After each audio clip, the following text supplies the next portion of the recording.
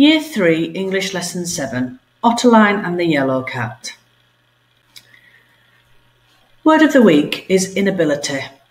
The definition is not being able to do something. An example is her inability to read made learning difficult. Please write down the definition and this example sentence for later use. Let's read Chapter 5. Chapter 5 Mr. Munroe climbed up the fire escape, which led to the roof of the Pepperpot building.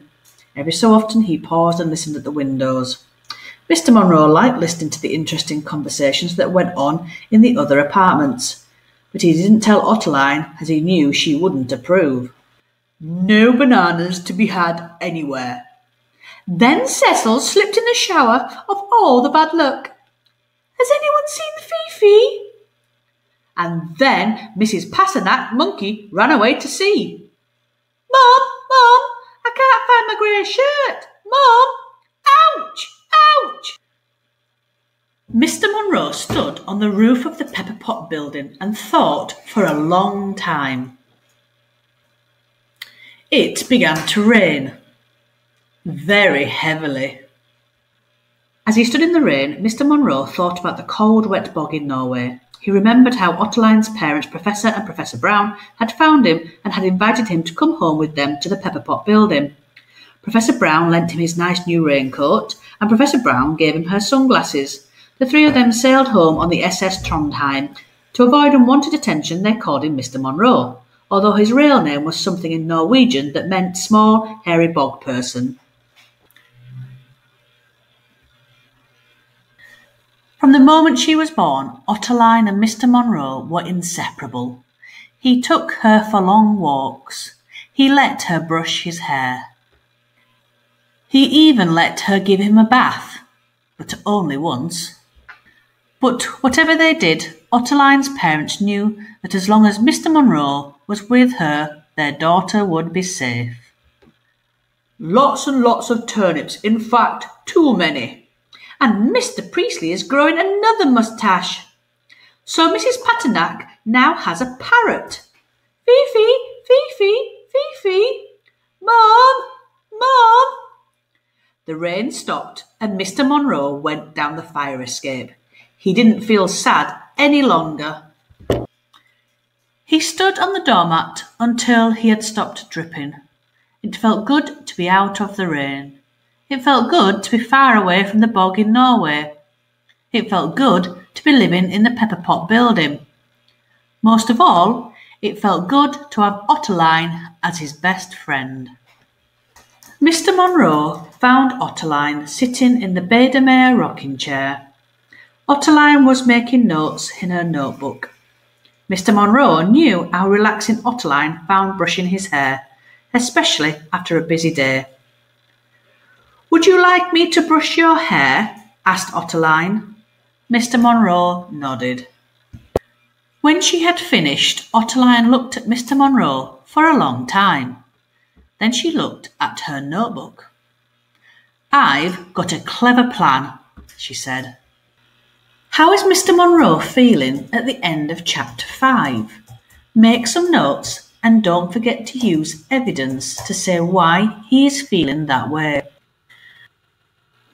As I continue to read the story, I'd like you to think about these two questions. What might the clever plan be? And who is the new lapdog? Late that night, there was a knock on the door of the old warehouse. Go away, yelled the yellow cat. We're closed. Callers by appointment only. There was another knock on the door, followed by a rather feeble bark. All right, all right, complained the yellow cat. Keep your tail on. I'm coming, I'm coming. The yellow cat opened the door. There was a small hairy dog outside. The small hairy dog handed the yellow cat a card. Bimpy Bottlenose the Second, Emperor of Heligoland. Pedigree Norwegian Lapdog. Lapdog, eh? said Yellow Cat. Then you've come to the right place. She stepped aside and let him in. Look what the cat dragged in, said the yellow cat. Boys, meet Bimpy Bottlenose II, Emperor of Heligoland. The poker players looked up from their game. We can call him Nosy, said the Yellow Cat. Nosy, meet the gang. Rupe the Fang, Snarler McMcTur, Butch Hilberg, and the Sundance Pup. The gang wagged their tails and made room for Nosy at the table. Clive, said the Yellow Cat, make sure the boys don't stay up too late. We've got work tomorrow. You're the boss, boss, squawked the cockatoo. So where are you from, stranger? said Rupe the Fang. Nosy gave him his card. Rupe looked at it. Norway, he said. It can get very wet in Norway. Nosy nodded and put the playing card on the table. Emperor of Heligoland, said Butch Hilberg, chewing on his doggy treat. I once saw the Emperor of Heligoland, wore a splendid hat.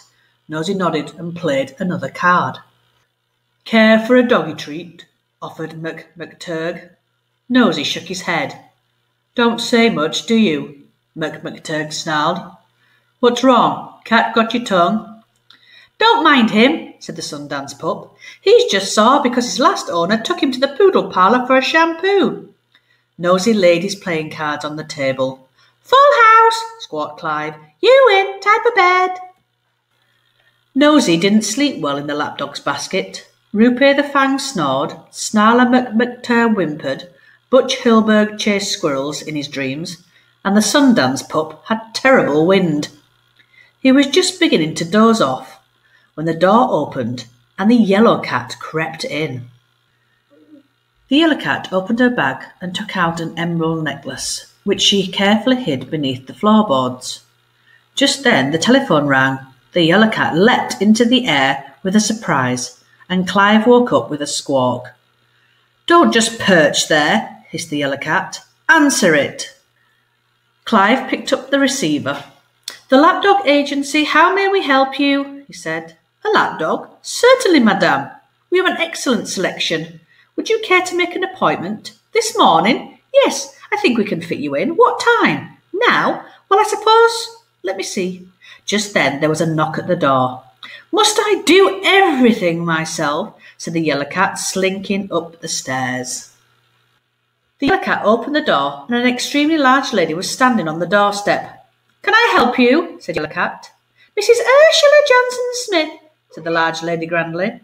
I am incredibly rich, and I'd like a lapdog to take home with me. I've just made an appointment.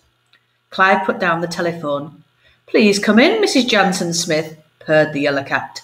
You can call me Ursula, said the lady. This is Mrs. Ursula Jansen Smith. Take a close look at what she is wearing. Does it look familiar? A lampshade, sunglasses, a long scarf, a fur coat, and some gloves. Can you find clues to answer these questions? What is the yellow cat really doing? And who is Mrs. Jansen Smith? Well, well, today, today, please remember to email your answers to me and I can give you some dojos. And do remember to stay at home and stay alert. See you soon.